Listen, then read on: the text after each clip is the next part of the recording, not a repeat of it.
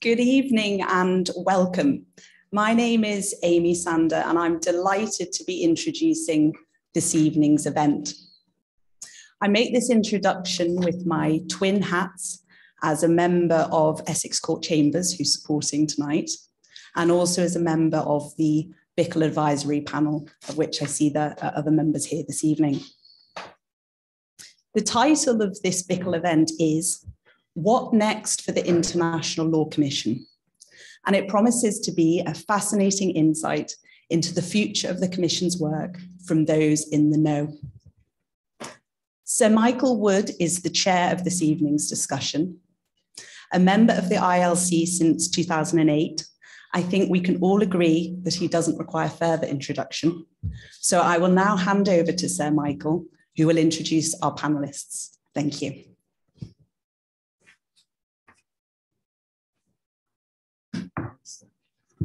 That?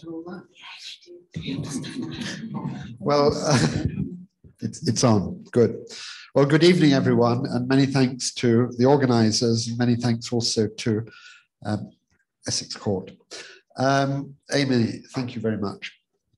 I'm going to speak just for a very few minutes uh, by way of introduction. Then we plan to ask the panel a few questions. I will ask them a few questions. And after that, I hope all of you and uh, people online too uh, can also put questions to them. So it's more a discussion than, than a series of, uh, of presentations, as it were.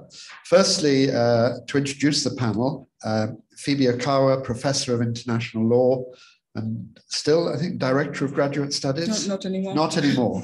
Professor of International Law at Queen Mary University of London. Uh, Martins Paparinskis, who is very soon, in the next day or two, to become Professor of Public International Law at University College London, and in the meantime is at University College London.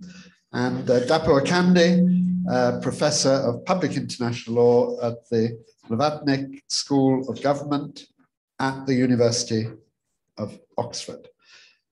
I congratulate all three very warmly on their election to the International Law Commission for a five-year term beginning on, uh, on the 1st of January 2023. And perhaps to get things going, I'd invite them to briefly say a word about themselves. And I'd like to hear what motivated them to seek election to the International Law Commission, which is a very big commitment indeed. So, Phoebe, can I ask you that question? Okay. Um, so You're speaking to that. Sorry. Michael has first thank you for, for that very generous introduction. And as Michael has already said, I'm a professor of public international law at Queen Mary University of London. I've pretty much spent my entire career in the teaching of international law, punctuated in between with advisory work for governments and non-governmental organizations.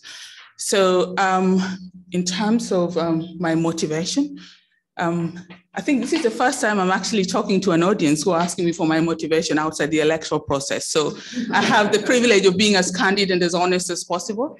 And as I was coming in, I thought of um, the Canadian politician and academic writer who ran to be Prime Minister of Canada, my, um, Michael Ignatieff. And he did write a book on the failure of his political ambition, I think success and failure in politics. And he was asked, so what, what was his motivation? He says in the book that he was very honest. He said, well, you know, being prime minister is the most demanding job that a democracy can ask of someone. So he just wanted to see if he was up to the job. And so I thought that in a sense, as a public international lawyer, you know, at some point, seminars, tutorials get stale and you want to see what else can you offer the international community. But really, much more importantly, I think um, I have been engaged, I have taken a deep interest in the Commission's work since 1991 when I first went to Geneva as a graduate student. I was a student of Ian Brownlie. I was looking at questions of state responsibility for environmental damage. And fortuitously, the Commission was engaged with two topics, two very um, controversial topics and subsequently very consequential topics on both questions of responsibility and liability for environmental damage. So I have continued with a very long interest in, in the commission and its work. And you could say that this has been a very long apprenticeship on, on questions of um, the Commission's work and its relevance, the de progressive development of international law. So I just felt that I had reached that stage in my life where I could actually put myself forward to be considered for the Commission's work and to carry this important forward. Um, again, there are also other reasons. One is personal. Tomorrow, my youngest son is going to university. So I'm just at that stage in my career where I feel there's space to do other things. The commission is a big commitment, as you say, 11 to 12 weeks in Geneva. I have absolutely no idea how people manage it on top of, on top of a full-time job and caring responsibilities. So fortuitously for me, I'm, I have that slight room. And finally, I think the other thing which I should mention is the most striking thing um, about and surprising when I attended the commission in 1991 was that all the 34 members were men. And it was pretty much taken that that's the way things were. No one seemed surprised. And looking at the records, there had been no women in the commission since 1949. So in the subsequent years, as I continued to engage with the commission's work, that for me remained really puzzling. Um, and so I felt that if the opportunity arose, I would certainly ask and put myself forward to be considered. The first women were only elected in the International Law Commission in 2001. And even in the next commission, our commission, the term that begins in 2023, there will only be five women, and five is also the largest number that have ever been elected. So I suppose um, I felt I had a, a civic responsibility to, to ask to be considered, and that's exactly what happened. I just say on that last point about uh, women on the commission, it's very good at least that the, the new the commission its new formulation new composition. Uh, the women are not all from the Western European group. The last year we had four women on the commission. Four, they were all four from the Western European and others group. Now there's uh, a lady from Thailand. So, uh, Martins. Thank you, Sir Michael. Um, it's always a challenge speaking after a Phoebe who has put everything that needed to be put much better than I could have. Uh, I think probably briefly, uh, I think uh, it's of course a fascinating topic, an institution for any international lawyer. I spent quite a bit of time over the last few years working on the section on state responsibility for the new edition of Oppenheim Peace and that I think required reading ILC materials once or twice. Obviously, there's a great fascination over the intellectual process uh, that goes into it. As to the nomination itself, I have to say that I'm also struck with a political metaphor, albeit I think perhaps my frame of reference is somewhat more uh, pop culture related. Well, perhaps not quite pop culture, but I thought of that Yes Minister Christmas special. So the bit about that, well, one, one of course is unwilling if, if one's friends suggest that that might be the best for one's country, one might, however, one willingly take, take it up. And I think there was even an element of truth in there, uh, in that I was very, very kindly and unexpectedly uh, invited uh, to be a candidate by three countries that had never uh, had a, a, representative or even a candidate to the International Law Commission. I think that is perhaps sort of an interesting concept as well to be made in the WEOG country discussion, where I think I had a look at the numbers and the it's almost invariably that people are nominated by countries who have already had members on the International Law Commission. I think that this year there are three uh, successful members from countries who had not previously had members of the International Law Commission. So I think sort of perhaps there was an element of excitement and also responsibility of um, putting forward the perspective of an international lawyer for a country that had not had uh, that opportunity in the previous 75 years was, well, 10 and 12 weeks does seem to be quite challenging, but uh, perhaps with slightly rosy tinted glasses, it just seems like a whole lot of fun ahead of us. Very good. Now, Dapo, does it mean we're not going to have to read so many EJIL Talk blogs? if you've noticed, you haven't been reading so many, um, in part because of the process that we went through last year. I mean, I I had never run for anything in my life, you know, school council, class prefect, nothing. I've never put myself forward for election for anything before. You know, it, it, was an honor to be asked to, to do it.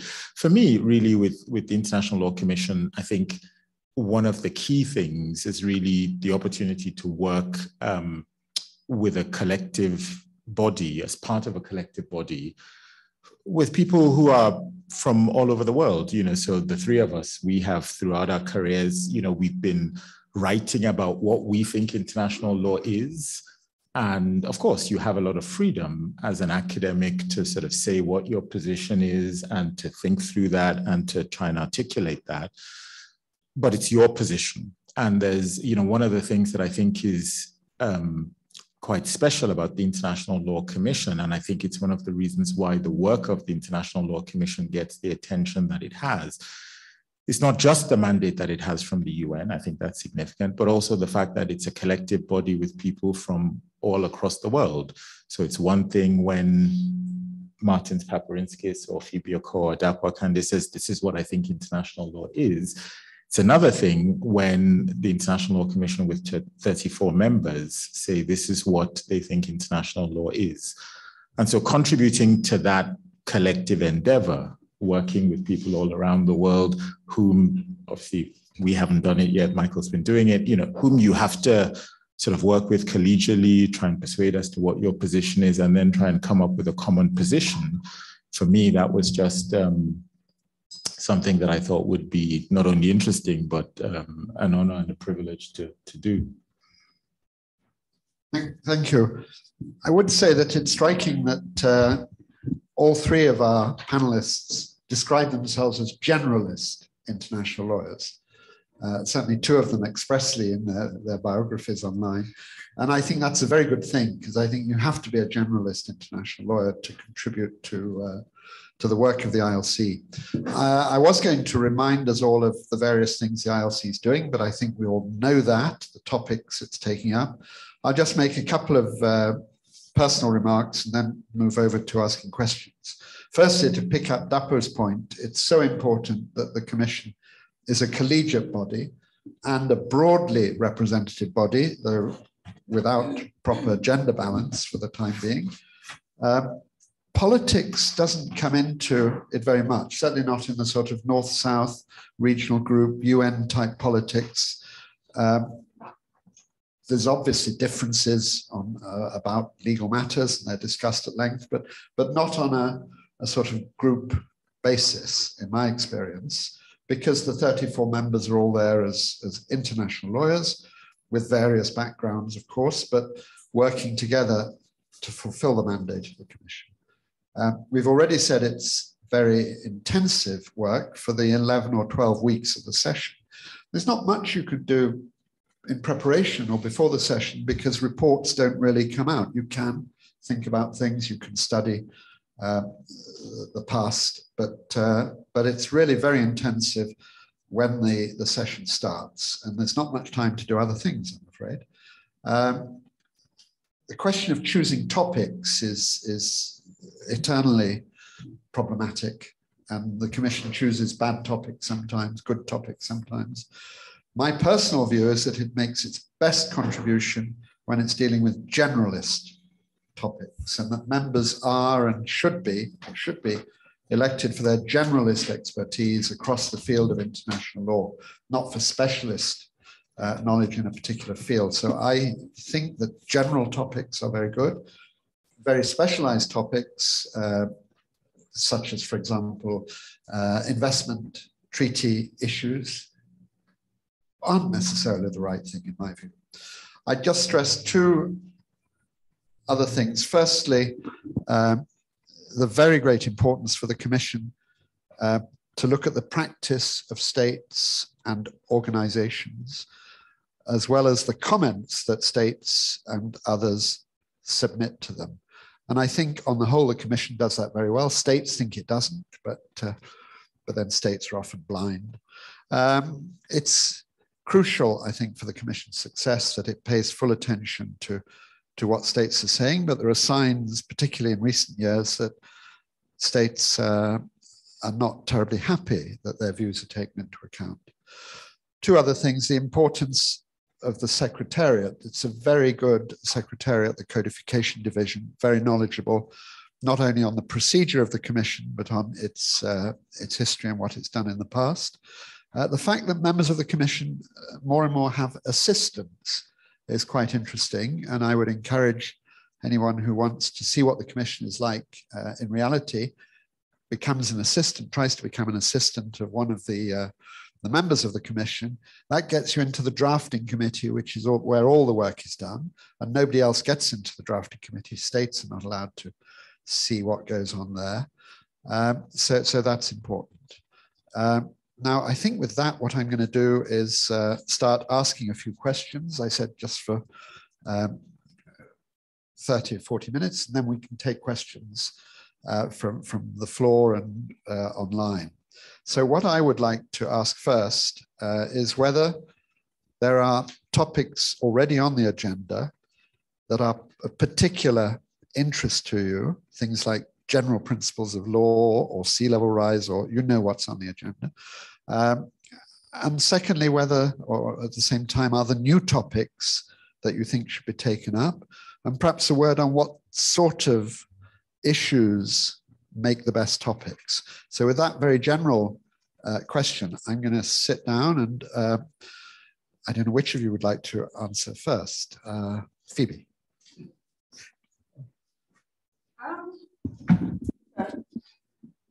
lots of large interrelated questions.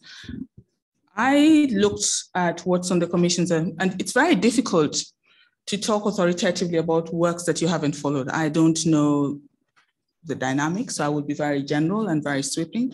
Um, some, I think, such as general principles, seems to me to be heading in the right direction.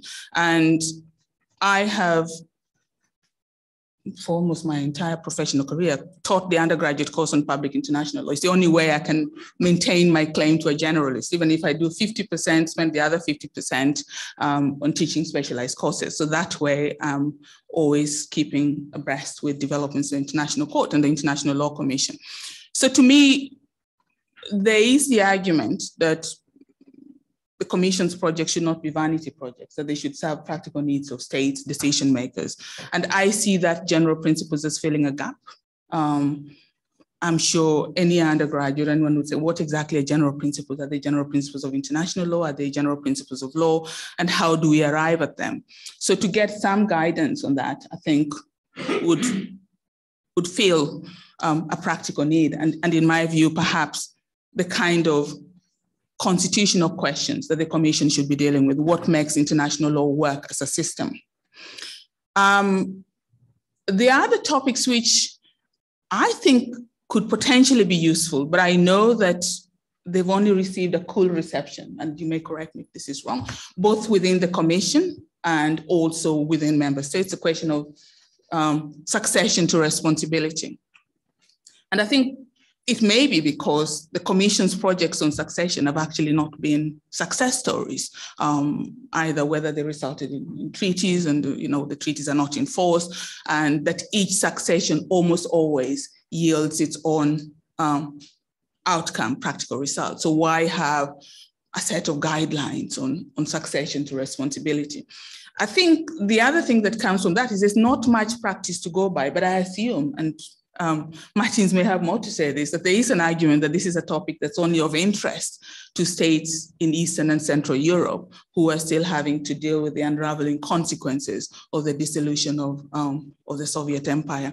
Um, having said that, I have no idea. That's it would be fascinating for me to see the commission complete it, not least because right now questions of you know, succession to responsibility are likely to come to the fore in the context of environmental damage. Um, and litigation in that context, like it or not, is moving quite fast in very different forums. Um, and it would be very interesting if the Commission's work on that shades light. Um, I, that's something I might be persuaded to, depending on who else wants it. I have no idea how these decisions are made or, you know, um, to take forward, actually. Um, I think sea level rise is a large and important topic. And also, it has the benefit of being one of the few topics that has actually come, the initiative has come from the General Assembly. Um, I think the commission was intended to work as um, an agent of the General Assembly, as it were, to initiate studies and uh, advance the codification and progressive development. But as I'm sure most of you are aware, increasingly that's not the case. Most of the topics that the Commission has undertaken are the Commission's own inventions. So this is one of those that the political masters actually want to see through. But it's a large topic. I have no idea how it is going to unravel. It's, uh, I think it's a study group rather than you know, so essentially maybe provide a roadmap on a very complicated question, um, implications for um, maritime delimitation, which I think the Commission has now completed.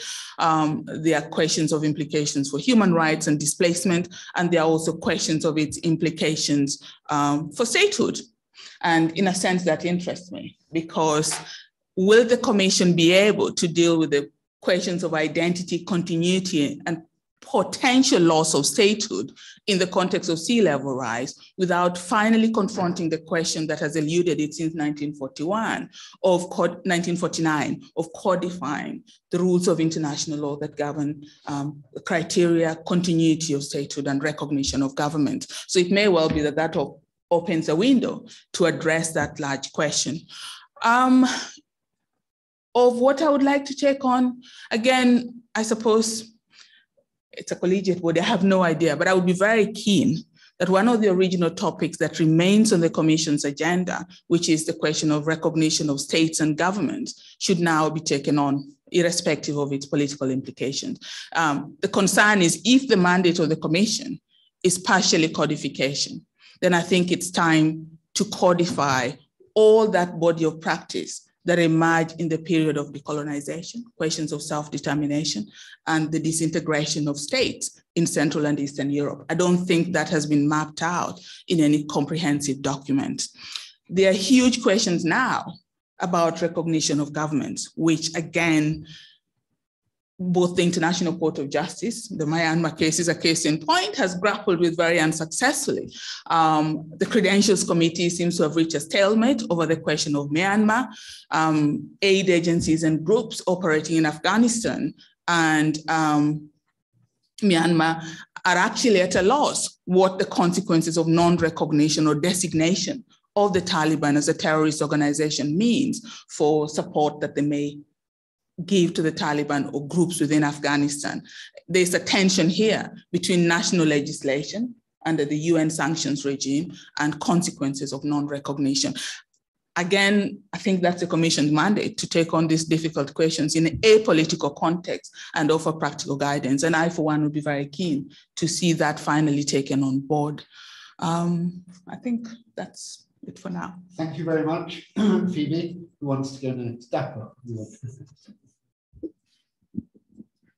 So your question was, are there any topics on the agenda that we are particularly interested in? Uh, we're all go, going to have to deal with all of them. So I suppose the politically correct answer is all of them, of course. interested in, in, interested in them all. um, I mean, but of course we all come with our own particular interests and and baggage. So for me, personally, the topic of immunity of state officials from foreign criminal jurisdiction, it's something that I've written on and you know there's a particular interest there just in terms of it's you know the commission has adopted the articles on first reading. It's been working on them for a long time. They've they've been it's been a sensitive and, and difficult topic but it, it'd be good to see the commission finally bring that topic to to a close. As i'm sure people know the commission has put on its um, active agenda in this the session of 2022 three new topics. And one of those new topics is the settlement of disputes involving international organizations.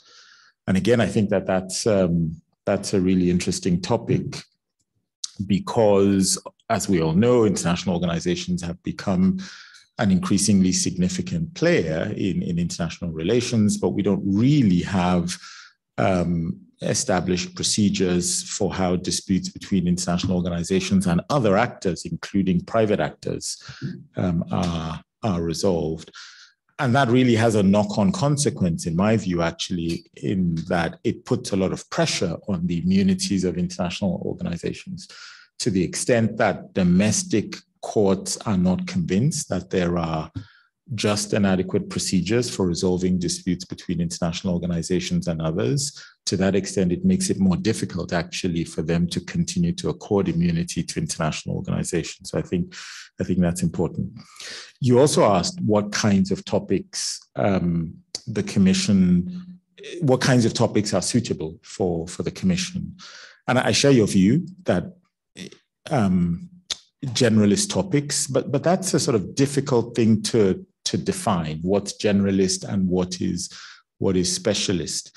So one thing that I think about is actually thinking about whether the commission is best placed to deal with a particular topic.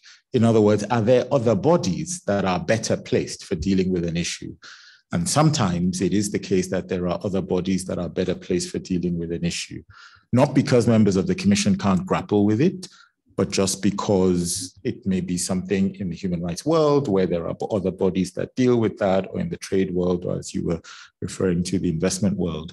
The way that I sort of tend to think about the work of the commission is, you know, when we think about the courses that we teach in public international law, the sort of undergraduate course in public international law, and you think about the, the list of topics that you deal with, many of those topics have actually been dealt with by the International Law Commission. You know, you do sources, you do law of treaties, you do state responsibility, immunity in, in various guises.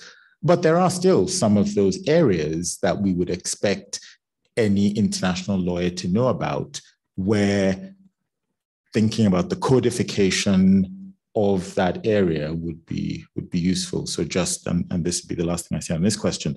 Think about topics that might be suitable. You know, one of the areas that I think has been on the long-term program of work of the commission is extraterritorial criminal jurisdiction.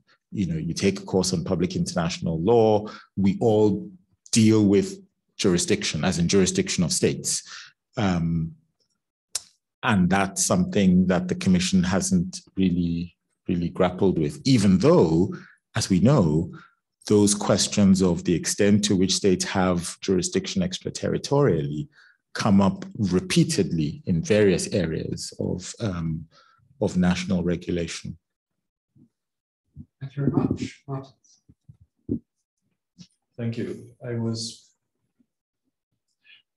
I think that sometimes when people venture to speak on a controversial question and conclude that they are all in agreement on something, it might suggest that they might be thinking of different aspects of the particular question. I'm of course not thinking of anything in particular historically. So generalist, I suppose, even if we are all in agreement that that is the right framing, what is a generalist topic and what is a generalist? I, am reminded that I think my supervisor said that a generalist is somebody who knows um, something about everything and everything about something. Um, generally. Uh, so I think I would probably be, I would adopt uh, by incorporation uh, DAPO's uh, politically correct response that of course, as having been elected to a body with a certain mandate, uh, one would be excited to work on all the topics. I think uh, the general principles and the subsidiary means topics are probably the most at least in my view, intellectually exciting. Uh, they complete uh, paragraph one of Article 38 of the International Court of Justice Statute, as it were, providing finally the full exploration of sources. I think general principles uh, are almost there, but not quite there. And some of the most interesting questions, I think, still uh, remain to be fully reflected upon. I think the second uh, category was a question mark of general principles, those formed within the international legal system that uh, the International Law Commission addressed this year. Is certainly a very interesting topic on which uh, reasonable people may disagree, and it is interesting to it will be interesting to see what states make of the uh, concept of uh, principles intrinsic to the international legal order. Again, myself, myself penned a few short observations on general principles in light of the beginning of the Commission's work a few years ago, of course, keeping a completely open mind on whether I'm right or wrong on these matters.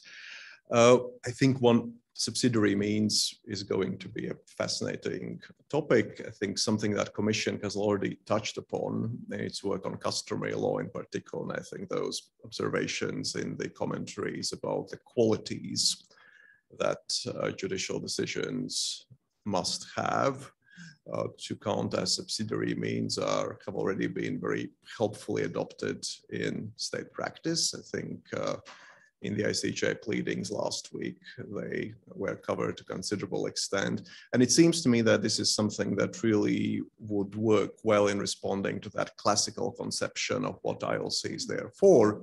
It responds to a need of states uh, in a format that can be helpful for states. So in a very practical sense of explaining to non-generalist courts, uh, specialist courts, uh, regional courts, domestic judicial bodies, other bodies where a subsidiary means come up, what things should be taken seriously and what slightly less so. So even if they are subsidiary in a practical sense in dealing with individualized disputes, I wonder whether that is the filter uh, through which many of the great questions of treaties, custom, uh, jus cogens might actually turn. So I think that that is something that I'm very much looking forward to. Um, sea level rise is certainly a, a, hugely important topic and something I would be interested in working on. And I think it sort of also speaks to a, two slightly different types of things that might end up in the International Law Commission. I think generally speaking, I think that the topics of the International Law Commission remind me of, I think, what Joel Fitzmaurice wrote about justice and Martha Nussbaum about love that there are certain things that you don't get if you go at them directly.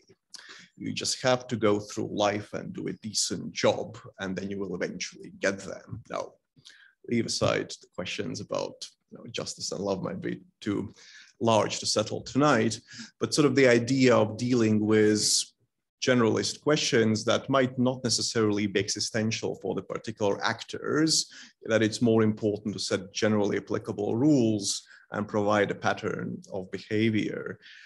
And I think at the other end are those questions that are truly existential and respond uh, to a particular aspect uh, that states or a group of states are hugely interested in. So it is not really just providing the technical means for uh, dealing with law of treaties responsibility. It is really answering a particular question, shining a particular light on generalist issues. So that I think is a new step for the International Law Commission. I think that that has been perceived that way both by states and by the International Law Commission itself. And I think that much might turn on the success of providing as the third element of the choice of topics suggests a product that is helpful for states. So that I think would be important. Uh, as to the things that would be of particular interest to me is where in the future, sort of torn again in these slightly two directions. Um, one topic that I have done some research and thinking about in the last few years is uh, something that the Secretariat uh, suggested in 2016 as one uh, possible topic. So that was the list that also had uh, general principles as one of the topics that then went to do great things. And that is a compensation under international law. So the intellectual argument would be that this is similar to other elements of law of treaties and state responsibility framed by the International Law Commission's work itself, on which there has been a great uh, deal of state and judicial practice. I can perhaps see that, that issues falling broadly speaking under Article 36 of the 2001 articles and surrounding provisions might have some relevance. Uh, I think uh, Phoebe alluded to the environmental aspect, uh, war claims, uh, historical reparation claims. So that could possibly be one direction. And I think the other direction, possibly building on the success uh, of the product that would come out of the sea level work, perhaps, I think, you know, at least um, I think perhaps in midsummer before uh, BBNJ was not as successful as people were hoping for, there was a sense that international legal order uh, might perhaps be well suited to provide more immediate answers to environmental issues. So perhaps that is the other direction. I think at the level of general principle, and that is the last point that I will make, I, I was very, you know, very much as well enthusiastically nodding, even if inwardly, when uh, Dapo was speaking about the idea of the best fit. I think so. I think it, it really chimes with a number of things that I have been thinking about. So we might express it as subsidiarity.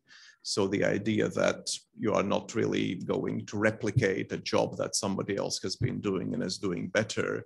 Perhaps also the idea of effectiveness of a sort that those are the topics that might benefit from a fairly gradual reflection, that those are things that might wait a quinquennium, that these are not things that need to be decided uh, by uh, last Friday. And these are not all topics, although I think as sea level rise suggests that there may be ways of framing questions that are helpful, even if other things are going more rapidly. Well, just picking up uh, your last point, of course, the ILC does take up topics that other people have dealt with. Uh, sea level rise, the International Law Association did some very good work. I think part of it anyway, very good, uh, very interesting. And um, the Institut de droit international, which we're now allowed to call the Institute, um, did, I think, quite a good piece on um, state succession to state responsibility. Frankly, uh, rather better than the International Law Commission so far, but that no doubt will improve with the new composition of the International Law Commission. So uh, one question is, what are the relative uh, merits of a topic being dealt with by the Commission or, or by pri private bodies like the Institute or the ILA? I've almost answered it by, by putting the emphasis on private bodies. But uh, that's, that's a question. But I'd like to ask you another question at the same time. Um, codification and progressive development, or progressive development, codification of international law is what the ILC is meant to have as its task, to contribute to it, not to make it up because it's not a legislator. Uh, but is there any real distinction? Is it possible to distinguish between codification and progressive development? States are constantly complaining that uh, the Commission has not said whether something it's produced is the law or is uh, an idea for what the law might be in the future. Uh, do you think it's possible? Do you think it should? So I've asked two questions really. Uh, I've forgotten the first one already, but uh, but uh, I, I, think we can't always start with Phoebe. So Dapo. First question, I think, was on um, the relative merits of the ILC dealing with topics that other bodies have dealt with. And I think it's your the way you characterized it as you know private bodies, because there, there are lots of topics actually that the ILC has dealt with, which other bodies have dealt with. I was thinking of your own topic, customary international law. Um, the ILA dealt with that. Immunities, yeah, you know, uh, the Institute has dealt with that before. But I think what is different is, or rather, where I think one needs to think about the potential overlap is when you are talking about other bodies particularly within the UN system, but not necessarily, other bodies that are mandated by states or international organizations to deal with issues. And it is there that I think that one needs to consider carefully actually whether the ILC is the best place to deal with it. So one of the things I suspect Phoebe and Martins were asked this a lot last year. I certainly was asked this, you know, should the ILC be dealing with pandemic preparedness? Should the ILC be dealing with issues sort of of that nature. And you think, well, we do have the WHO, the WHO is dealing with these things. Okay, so maybe there might be particular aspects that the ILC could deal with. I haven't necessarily seen those yet, but it's important to think within the system as a whole as to whether the ILC is best placed. And when I say the system as a whole, I mean the system of those bodies that are mandated by states to examine a topic. So I don't think one can eliminate overlap with private bodies, but I think certainly with other UN bodies, one should look at whether the ILC is best um, is best placed. On your second question about whether there's a distinction between codification and progressive development, I suppose, I mean, there's a question as to what the question is. So one question is, is there a distinction between codification and progressive development? Another question is, should the ILC say that it is engaged in either codification or progressive development? And on the question of whether there's a distinction, I think you know, it's all a matter of of degree. Um, at least that's the way that I I look at it. That it's a matter of of degree. So at one end of the spectrum, you can think about a scenario where a body, whether it's the ILC or some other body, says, actually, we acknowledge that there is either no law or this is not the law, but this is what we think the law should be. That's clearly not codification. That's clearly an attempt to progressively develop the law.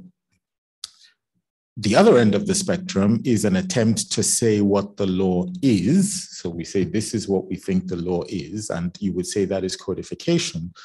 But there, there's a real question as to whether it is ever possible to, even in saying what the law is, whether it is ever possible to do that without having some degree of development because the exercise that you're engaging in is an exercise where you are trying to, well, you're trying to do a number of things. One, you're trying to put things in text.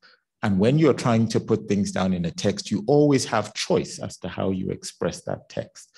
So even though you are trying to encapsulate the law as you think it is, those choices actually, and having to make those choices of just expression might in and of themselves involve some degree of, of development. The second place where it might not be entirely possible to divorce codification from development is when you express principles which have a certain degree of generality, but you are then trying to either make them concrete or you're trying to apply them in specific cases. And there again, sometimes you have choice. You know you start from general things which we might all agree and then the question is what are the implications of those generalities? So you have a general proposition and the question is does that general proposition imply x or does it imply y now somebody might say well that's codification because it just follows from this proposition and somebody might say well but we don't have this degree of specificity so by you putting in text that degree of specificity, what you're actually doing is you're developing the law. So my point is, is that I think you can have progressive development, which is clearly so, but I think in any exercise of codification, because you have to make choices, it is very difficult to say that this is something which is 100% expressing what the law is, or at least what is agreed to be the law. Thank you. And just back to your first point, there's also the work done by regional organizations, such as the Council of Europe on State Immunity, which is used by the International Law Commission, the, uh, the African Union International Law Commission, uh, though I'm never quite sure what it's doing, but it's obviously doing uh, important work and they come uh, to visit sometimes. The Committee of Jurists of the OAS uh, just did a, did a, very interesting study on non-binding international agreements, for example. So, uh, and there is a good relationship in principle with these regional bodies and the ILC. Unfortunately, because of COVID, they haven't, in fact, visited for the last two years. But uh, but that's important to bear in mind. Uh, Martins, Um, the the first question related um, to the overlap uh, between ILC and other institutions. And of course, uh, there was a private body aspect, which is uh, sometimes hard to say whether ILA or ILC does a better job. I suppose, particularly the private bodies led by UCL professor, that might be particularly thorny one to pin down. But in other contexts, it is more obvious. Uh, I think I think it's probably really echoing points that were made that at a greater degree of abstraction, there may be some topics that benefit from the feedback loop that are of sufficient importance for states and that clarify or confirm certain aspects. And conversely, it might turn out that certain topics are more of an interest in an academic setting, and that actually states are, rather than antagonistic, are simply not majorly invested in these rules. So those one might, would imagine might be worse suited for the International Law Commission. I think really probably pandemic uh, is a good example for thinking about the way how generalist issues and specialized organizations fit together. And I think also probably, I mean, to me, really the functional dynamic, the procedural dynamic, the idea that there are some things that probably cannot wait for five years for the first reading and seven years for the second one. It's not a reflection or criticism of the International Law Commission, but there are simply certain questions that benefit from a lengthy elaboration in, within that feedback loop and some that uh, do not. Uh, the second question was about progressive development and codification. Uh, on the, I think on the general proposition, I would say that there is um, a distinction, the fact that there's twilight uh, does not negate the existence of night and day. I agree with the point that practicalities of application may be tricky. I mean, I wouldn't quite want to say that the greatest um, indicator that something is a codification is the ILC denying it, although I think Article 41 of the 2001 ILC articles might for some seem a proposition for that.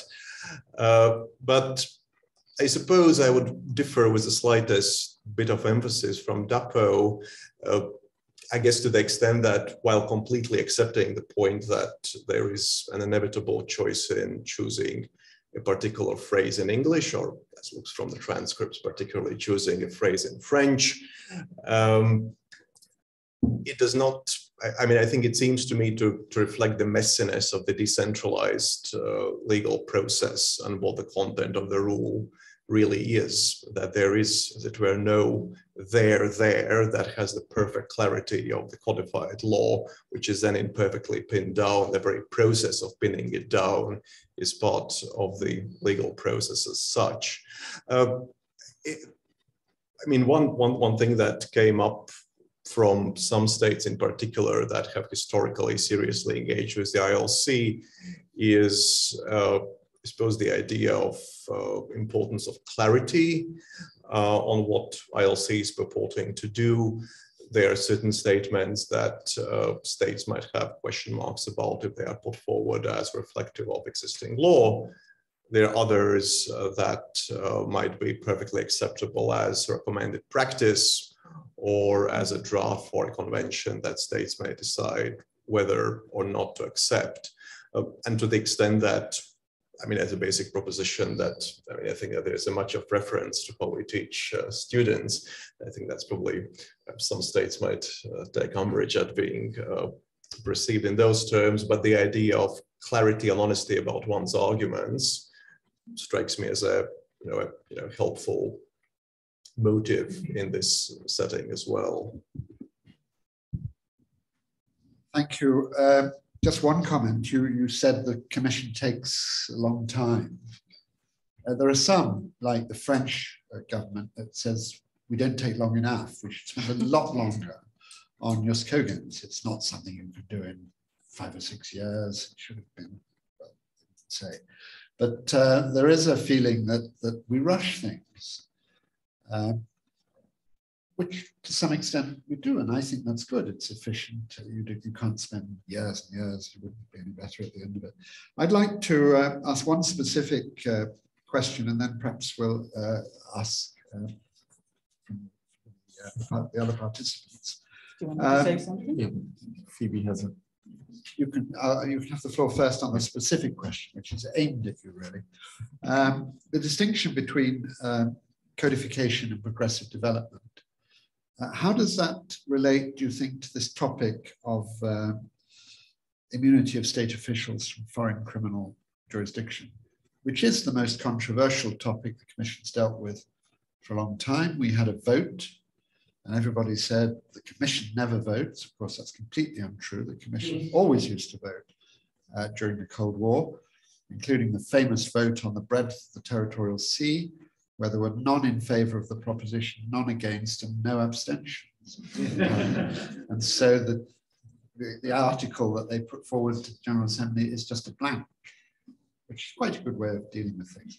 But Dapo, what, what um, take the, the title of this panel, what next for the topic immunity of state officials from foreign criminal jurisdiction?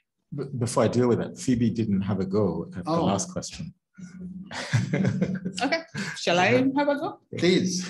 Um, so on the question of whether the International Law Commission should take on topics that are taken by other bodies, um, you know, the ILC is the most recent of the codification bodies. The uh, Institute of International Law, the ILA predated, and historically, much of the codification was always the work of these private bodies as an intellectual exercise. So quite frankly, they're not going to give that up. And I think there's a value in the very distinct intellectual exercise that goes on in those bodies, even if they reinforce or are different from what the commission does. The commission is not necessarily beholden, but it's, it's accountable to the sixth committee. Its work has to be informed by the practice of state. So in relation to those bodies, I don't see necessary, a necessary problem in a continuing overlap of engagement. I think the work would reinforce each other. Um, both Dapo and Martins have talked about this. What, what's much more problematic is whether the commission should take on technical topics that are either already being taken by other bodies or being considered by other bodies the question of pandemics has come up, and again, not least because the Commission is very keen to have a go at that. And there are those who feel that, you know, those kind of topics, do you want the Commission, do you want a major policy initiative on a question of law coming from 34 lawyers with no expertise in anything other than international law, with no political mandate and no accountability? In democracies, you're not going to have that. The Law Commission of the Kenyan Law Reform Commission does not take any policy initiative, um, neither does the UK one, so that, that there is a case where if in fact the topic is really de novo, you want someone else to take it, someone with expertise, someone with accountability, and maybe that the International Law Commission is not the place for that. Um, that may not mean necessarily mean that, say, the commission should take, not take on the question of pandemics, because those political processes are also very slow. And, and for those reasons, it would be impossible even to have a roadmap on what a treaty on pandemic should look like. And there's also the related question that if it's negotiated under the auspices of the WHO, the WHO will have the doctors and the expertise to talk about preparedness, prevention, but how a treaty on pandemics sits within the whole body of international law is something which only the ILC can take. What emergency measures are appropriate and how do those emergency measures fit within the system of human rights norms that states have signed up to? So there is an argument that the, the commission can actually take this as a study guide, produce a roadmap and leave it to um, the General Assembly, the Sixth Committee or other political actors to run with it and convene a conference where these political compromises can take place. But again, I think I would worry if the commission took upon itself an inherently technical topic for which it does not have the expertise, does not have the resources, and sets about to say, have a blueprint of what a treaty on pandemic should be. On the question of codification and progressive development, again, I just echo what Dapo has said. Um, I think it's impossible. I mean, I know the statute speaks of codification and progressive development as if they're two distinct and separate processes. And members of the commission, when addressing their contribution, almost if these are two distinct processes. I think in reality, it's not possible to see um, any process of codification that does not involve some element of progressive development, whether you're talking about the law of treaties, or diplomatic immunity, areas on which there was a whole body of practice. Because customary law is by nature diffuse and certain, and in that process of codification, there's an element of clarification, and that element of clarification inevitably involves some element of codification. Um, in terms of progressive development, again, I'm not sure the commission is the place, echoing my earlier point, to take on, unless it has a specific mandate, to create an instrument from scratch.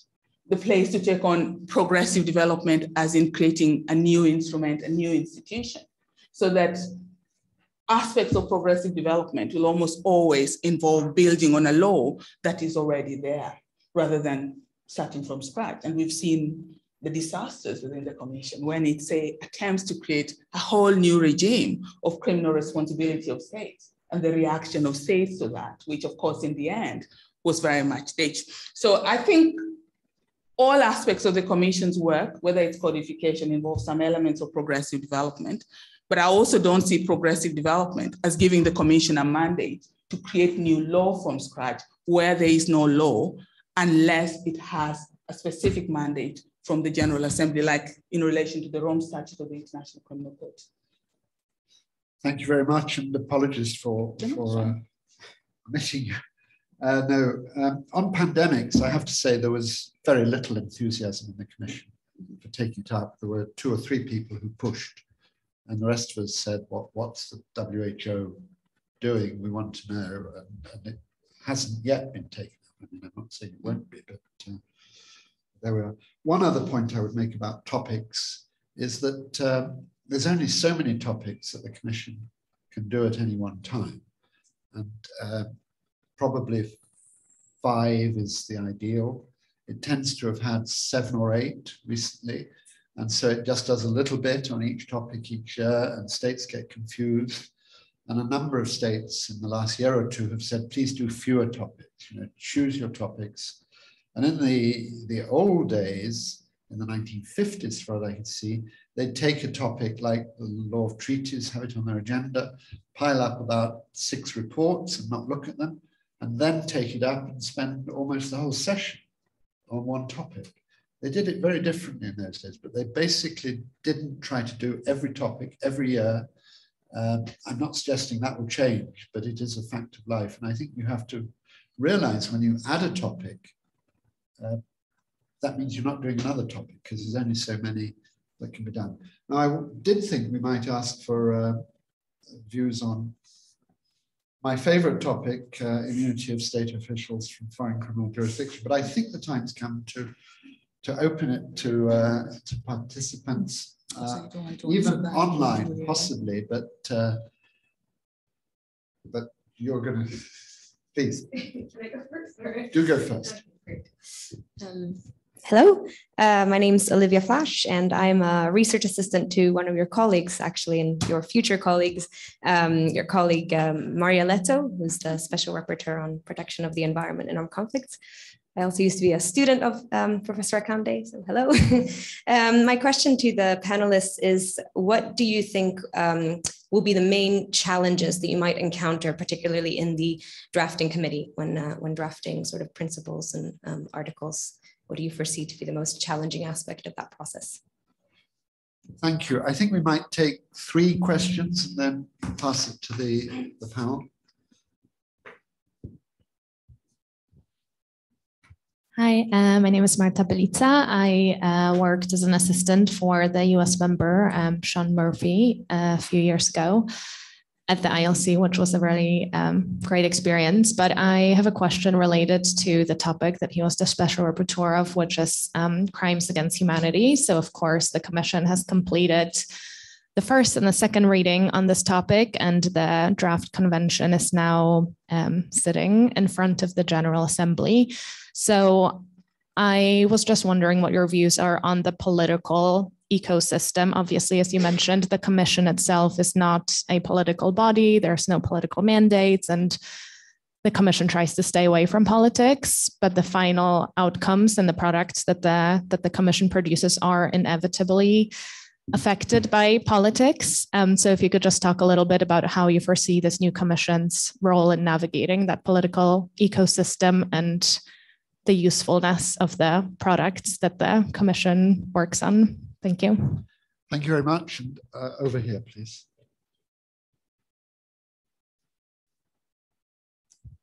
Thank you very much. Um, my name is Fabian Eichberger. I'm a PhD candidate at the University of Cambridge. Um, I had the chance to attend the International Law Seminar of the International Law Commission this summer. And what struck me was that several of the outgoing members drew a picture of the International Law Commission as an institution in crisis. And they related this crisis, if I understood correctly, for one, to the choice of, choice of topics of the Commission, and secondly, to the reception of the work of the Commission in the sixth committee. Now, I would be interested in hearing your views on this, whether you consider this some kind of nostalgia, or maybe whether there is a challenge of the Commission, whether its position has changed throughout the last decades, and then what should or could be done about it. Thank you.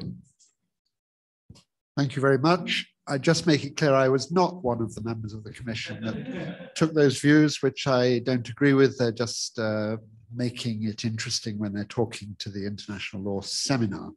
But um, it's for the panel to answer the questions. So, uh, Phoebe. Okay, so um, they're all very interesting and very challenging questions on which, given that I haven't spent that much time other than since 1991 on the commission, but the challenges in the drafting committee, what I see immediately as a problem is that the commission operates in the main UN languages and particularly English and French. I already know that that's proving to be a challenge within the Africa group, where the majority of members are from the Francophone African countries, and only I think two of us are Anglophone. And just bridging that divide to work as a group, I think becomes problematic. I have no idea how the drafting committee works, but I've been told it's very important to get on it if you want to have an impact and to get work done.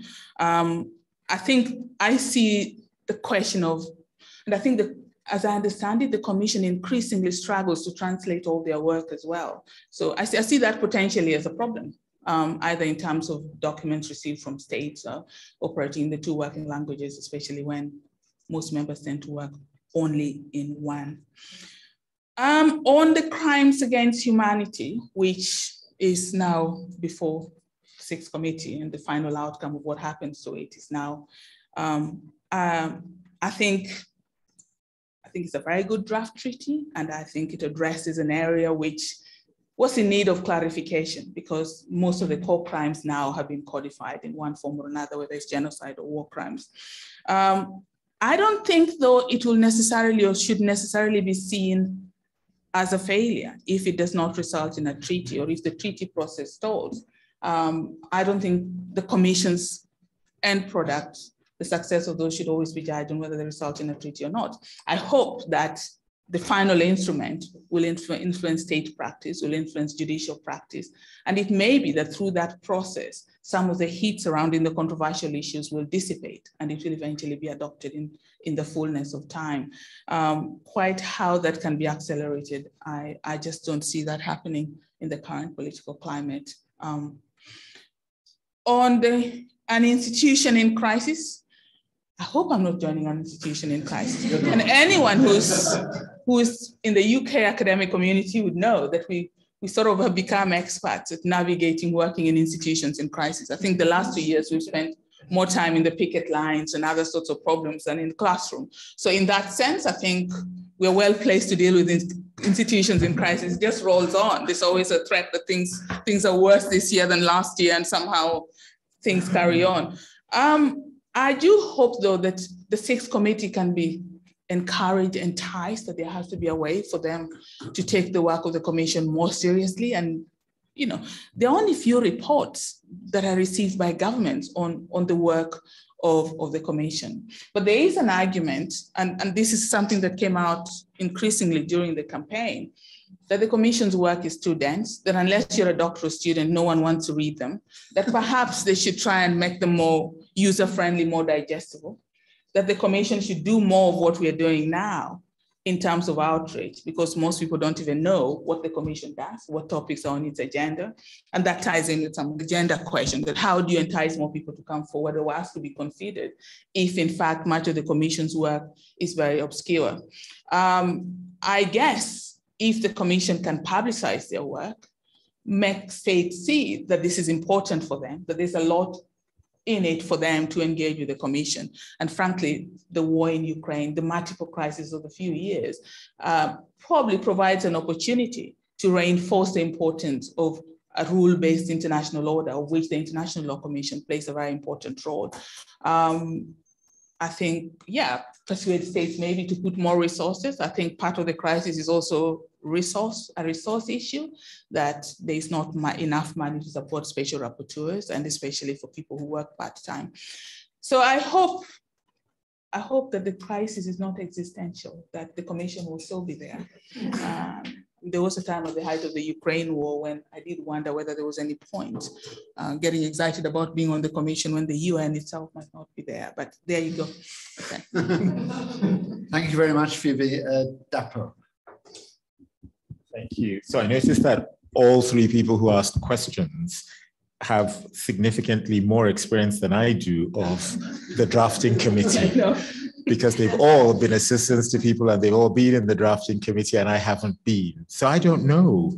I mean, but I suppose as a general matter, I guess it's just this challenge of sort of working collegiate uh, in a collegiate manner with others and with a, you know, it's not a small body. And so trying to uh, persuade colleagues and be responsive to, to the views of, of colleagues.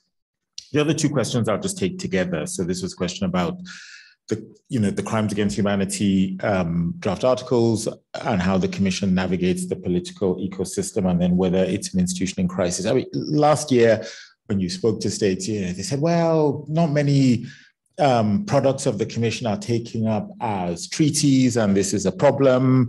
And in the old days, you know, we had the Vienna Convention on the Law of Treaties and the Vienna Convention on this and that. And the question is really whether that's the whether that's the yardstick for success. I mean, I was and I was and I remain of the view that that so-called crisis of the work of the commission being taken up by the sixth committee is overblown by which I mean that it's not everything that the commission does which needs to be taken up by the sixth committee and then adopted in the form of a convention you know? So the draft conclusions for example on customary international law well were we going to have a convention on customary international law? I think not myself, I don't think it's a disaster that the articles on state responsibility have not been adopted as a convention. They've been very successful.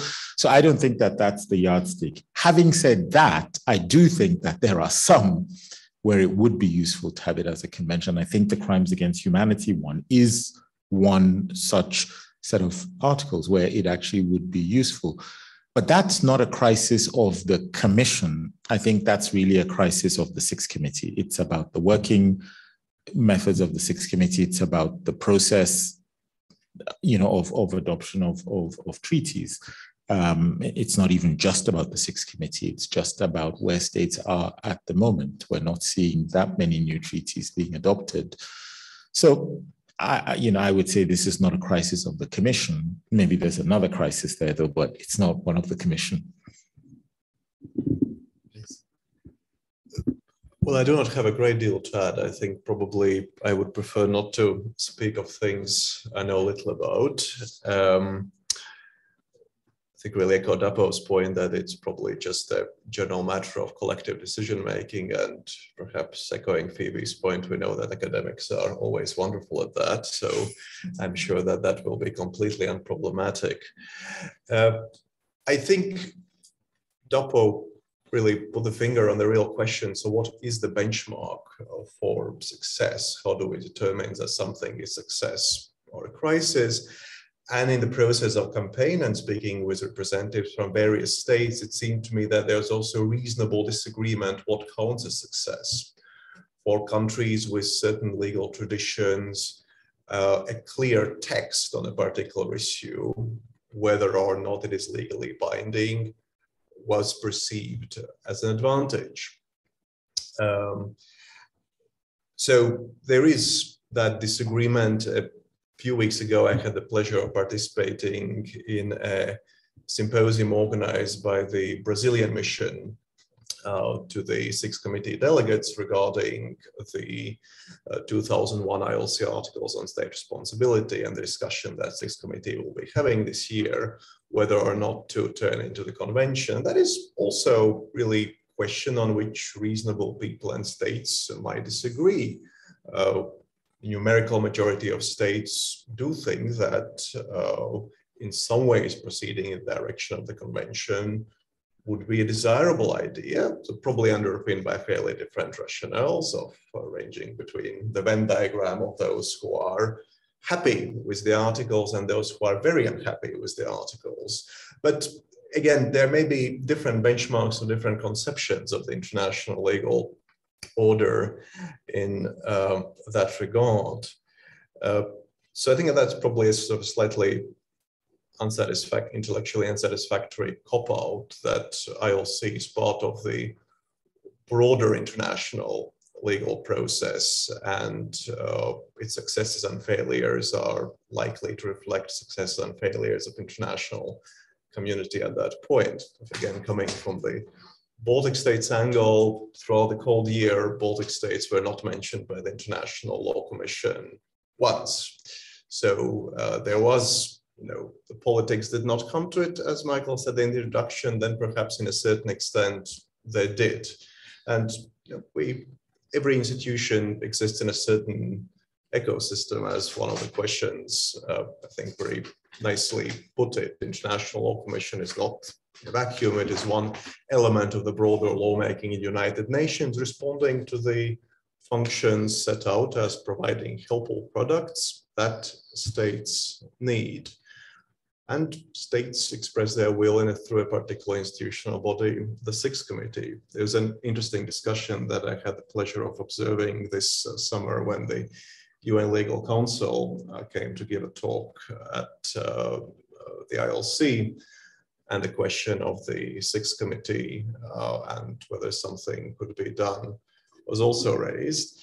Sir Michael was um, sitting on the podium, and I think um, when one of the observations related to the possibility of introducing voting in the sixth committee, an expression that would not lead him to immediate success in the game of poker. So clearly ground for very reasonable disagreement among very reasonable people. Thank you very much. Uh, can I ask, are there any interesting questions online? Uh, maybe we'll have if you could choose one, the advantage with the question online, you can choose the good ones. Here, you just get what you get. Uh, but they were all good. We do have a number of questions. Some have been answered of course already of. Okay, well, of, of, of, the event. Um, we were thinking of. Laptop is very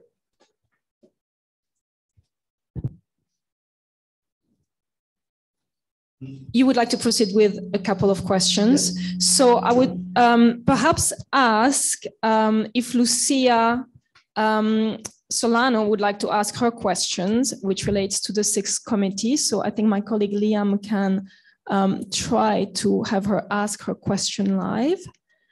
Um, and if we only have time for two online, we'll then ask uh, Lester Ortega uh, from Guatemala to ask his question.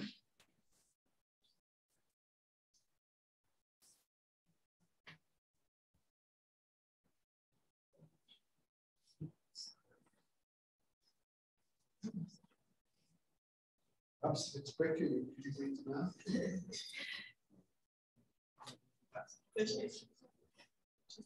I don't know if you can hear me and see me now. Thank oh. you. This is very uh, uh, modern. Thank you so much for the opportunity to ask the question. And it's a pleasure to say hello to all of you, to Dapo, to Martins, to Sir Michael, to Phoebe. A pleasure to, to, to see you. Uh, hopefully I'll be seeing you in New York soon enough. Um, it, it's a very obvious question. However, it, it, it's recurrent for six committee delegates like myself. And it's how can we do a better job of working together? How can we engage better? And the question is really not just for six committee delegates in New York, but also for the ones that are based in capitals. How do we, you know, have a better relationship between the legal bodies of the UN and, you know, in which ways can the six committee contribute, you know, to, to the products that come from the ILC? And we understand that some of those have been, you know, uh, managed, you know, in difficult ways in the sixth committee, to put it lightly. Um, but we just wanted to, I just wanted to, speaking on behalf of some other six committee delegates, what's the best way to, to interact, to talk more, to, you know, not, not just meet every, every year for, for, for the International Law Week and, and so on, and how we can uh, just, you know, work better for the benefit in the end of, of international law and, and its uh, codification and progressive development. Thank you. Thank you very much. And uh, Lester. Thank you, Michael, and greetings to the three panelists. Uh, my question is actually addressed to the moderator. Um, and my question, Michael, is what would be the best advice that a seasoned member of the ILC like yourself could give to the new or upcoming members of the ILC that are sitting to your right hand? Okay, well, I'll answer that. It used to be said that new members of the ILC should not speak for the first year. They should, they should listen and learn. Well, I won't give you that advice, but I do think it's it's important not to rush into things, but to get to know what uh, is going on. What, however, this is a different year because there are 18 new members out of 34. That's uh, well over half. Uh, normally it's about a third that changes. So there's a lot of new members. So I think it's going to be very, uh, very interesting how you interact with each other. And uh, I'm not encouraging you to stay silent for, for a year. I think uh, it also, I, my own advice would be not to rush into being a special rapporteur. I think it's good to wait for a year or two and then find your time and, uh, and act and, and contribute to every topic uh, not just uh, trying to do your own topic or your own favorite topic. It was, it's a general uh, body and uh, it's important that your expertise, your, your expertise, your common sense gets fed into every topic. And the main way to do that is through the drafting committee. So uh, attend the drafting committee on every subject if you can. Uh, there's no longer a quota, it's no longer 10 people maximum. So you can be on every drafting committee. And, and I was always on every drafting committee, uh, which is hard work and can be pretty tedious sometimes, but it's the way you can uh, help to influence things and, and have, a, have, a, have an influence. So uh, I think I've answered Lester's point. Uh, Lucia, it's an impossible question she's asked you. Uh, we've been trying since the beginning of time to build up better relations between uh, the lawyers in New York in the Sixth Committee and the lawyers in uh, the Commission. The Commission goes to New York uh, once every five years for half a session. That's becoming a tradition. That's an opportunity to, to mix. Members of the Commission can go to the Sixth Committee during International Law Week, but they have to pay for themselves. So that's not terribly satisfactory. Uh, I think the sixth, the, the initiative really has to come from uh, Lucia and the sixth committee people in New York because uh, they're, they're very good, especially, I must say, the Latin American sixth committee members put in a really special effort uh, into these things. And uh, they can contact, they can set up things. Nowadays, when we're all used to doing things online, it would be easier to set up the kind of meetings that normally took place uh, at lunchtime in New York. They can be set up uh, at any time throughout the year. So perhaps the initiative should come from uh, from from the sixth committee lawyers themselves. But the questions put, put to, to you, I don't know if anyone wants to answer it. We still have a bit of time for another round of questions from the floor. Uh, the back, you You've been asking for a long time. There's no microphone.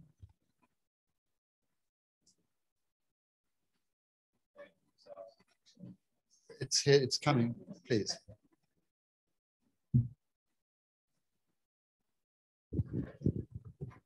Thank you so much. Uh, my name's Oliver Garner. I'm the Maurice Wohl Research Fellow in European Rule of Law at the Bingham Centre for the Rule of Law, which is obviously part of BIICL. Um, my question relates to some of the previous work of the Bingham Centre. So there was discussion about the relationship with regional bodies and the work they do. And with the Bingham Centre, we utilize the Venice Commission's Rule of Law checklist in pretty much all of our work on a day-to-day basis. So I suppose my question would be whether there is an appetite to engage in the work of trying to define the rule of law at an international level. Of course, it opens up questions of whether the international rule of law is different from domestic rule of law. But I think the interest also derives from the fact that the Bingham Centre, we're probably looking to engage in perhaps more conceptual theoretical work on this question in the near future. So we'll be very interested in hearing your thoughts. Thank you very much. Thank you. That's uh, quite a big question. So perhaps we'll just take one more because we're beginning to run out of time. Uh, at the back, please. Yes. Sorry, apologies. Uh, um, I'm Yarik Kryvoi. I, I, direct the Investment Treaty Forum here at BIICL. Uh, Martins mentioned um, uh, the possibility of working on the issue of compensation. Um, two weeks ago, I went to the UNCITRAL Working Group 3 meeting, which deals with uh, reforming the system of investor-state dispute settlement. And uh, I was uh, really struck by the difference in views on the issue of damages between uh, African countries uh, on the one hand and European uh, countries and North American countries on the other hand. While uh, many African delegations um, were not very active during most of the session, when the issue of damages came up, um, there were many views expressed saying that we need to have some sort of regulation, cap, adopted policy, and so on while other states, uh, particularly vocal uh, European states and North American states, were saying that, well, you can't really have a cap, you can't have, have a mandatory uh, methodology to determine damages. Each tribunal decides it's on its own, uh, and uh, circumstances differ. Uh, so I was wondering how you view, uh, how you see the work of the ILC Commission on, on such a topic, which sounds quite controversial to me. Thank you. Thank you very much. Uh, I'm going to ask each of the panelists to, to respond in turn, but also to say any final remarks because we've we've got five minutes left, uh, and we should finish on time, I think. So if I could ask Dapo to go first. Sorry. We have to pass this.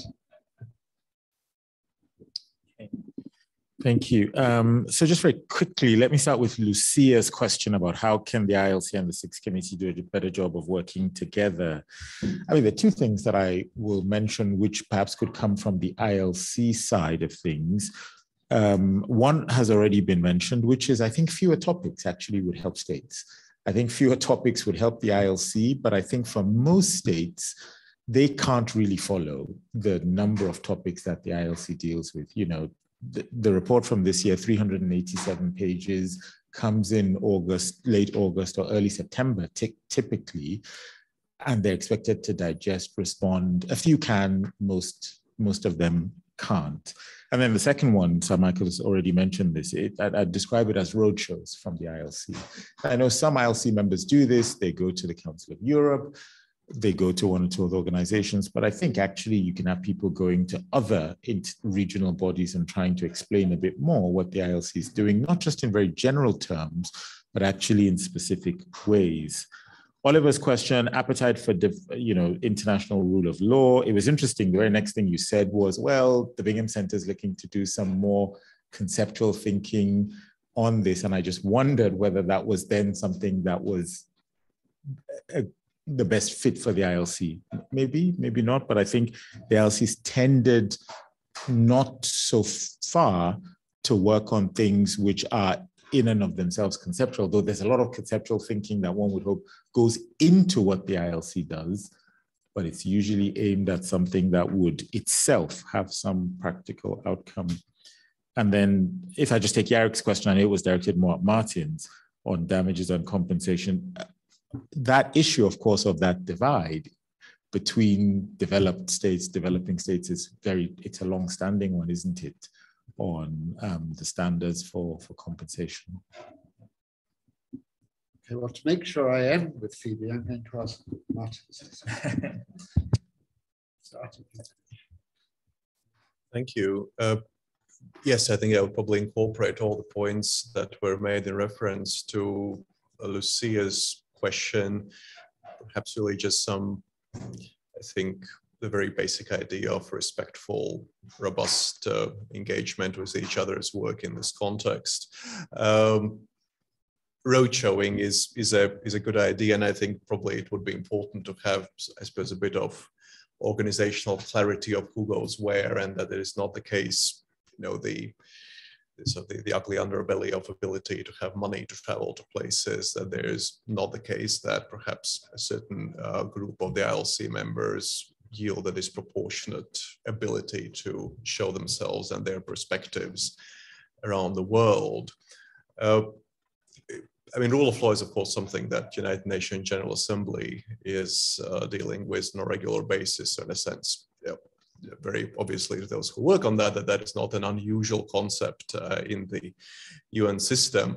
I think sort of probably the question of the fit going back to the, is this a sort of topic that states want and that can be expressed in an output that would be helpful for states. But of course, some of the things that ILC has done that at least academics appreciate, like the work on fragmentation, probably skirts at the very edges of that.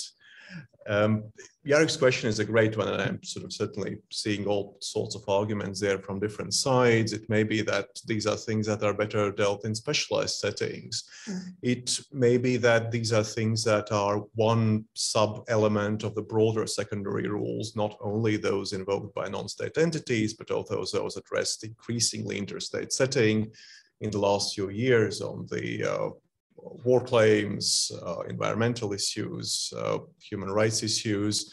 So perhaps precisely this fuzziness and uncertainty suggests compliance with the criteria of the importance and necessity for states and the existence of sufficient practice uh, to do something about it. But those are no doubt hard questions. Although things that ILC I think is interestingly skirting around with different individualized topics, a whole uh, provision regarding responsibility in the principles on environment and armed conflict, a bit of an allusion tucked in in the jus cogens uh, draft conclusions regarding consequences of breach, and also a bit of externally worded paragraph uh, in the section on statehood and sea level rise. So it seems that the compensatory element is a bit like that kind of the Gattini line about uh, fault, uh, like the smoke that is there in the room after the smoker has left. It sort of seems to be around there. It kind of, you can't quite get rid of it. Thank you, Phoebe. Okay.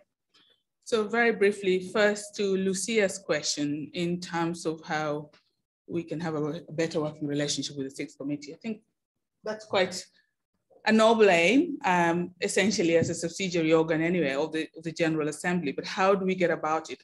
I thought that having more meetings or certain sessions of the ILC to be permanently in New York, I don't know how realistic that is, instead of Geneva, and that might promote a more informal dialogue and um, a more organic way of just explaining what the commission does without making a big deal about it at the end of a five-year term or in between that term.